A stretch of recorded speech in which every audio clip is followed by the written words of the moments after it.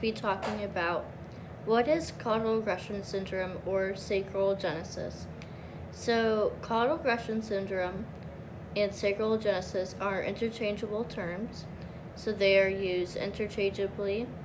I was born with caudal regression syndrome. It is where the bottom of my spine, where the sacrum is, is not formed. So I do not have a sacrum or the L portion or the lumbar portion of my spine is not there.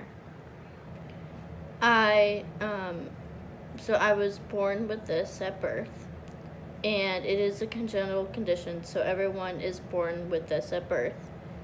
Um, it can cause issues with kidneys, bladder, um, some heart issues. Um, it can, it can cause intestinal issues as well. It can also cause issues with lower limbs.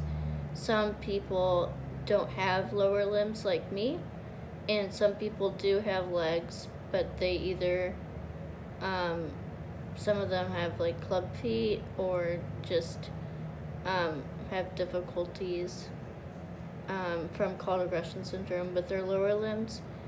I, um, so that is a little bit about just what it affects.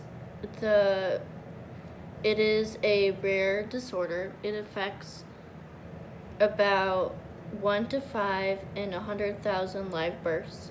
So it is pretty rare. It is in the National Organization for Rare Disorders. Um, and it was recently put in there, which is awesome. And I am really proud to have caudal syndrome. I am proud to be rare. And I am proud to spread awareness for this um, disability of mine. I hope to show um, children and adults that have um, CRS slash SA that you can do anything um, and that this doesn't define you. Um, people with caudal regression syndrome can go to work, they can do sports, they can do, um, they can have a job, they can have a family, they can get married, they can do all the same things that you can do. We just live our lives a little differently.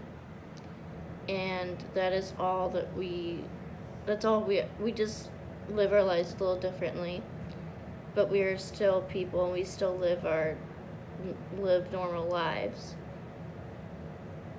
caudal regression syndrome um, is also um, can be involved with things like with things like spina bifida. I have spina bifida as well. Um, I know a few other people who have caudal regression syndrome and spina bifida. Um, and spina bifida is an opening in the spine.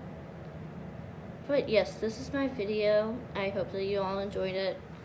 Um, caudal syndrome, once again, is just where your sacrum doesn't form um, ISACRA, the International Sacral um, Agenesis Caudal Regression Association is an amazing organization. They have a Facebook group for anyone, for any parents or any take caretakers um, or anyone living with caudal regression syndrome or sacral agenesis.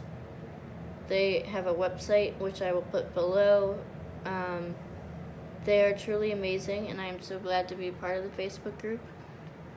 I, um, I've loved learning from other people's experiences about what they go through um, on a daily basis um, with this disability, and it's definitely helped me learn a lot.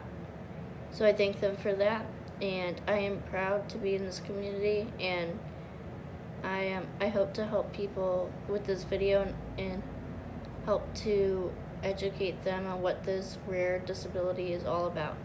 So thank you for watching and see you next week.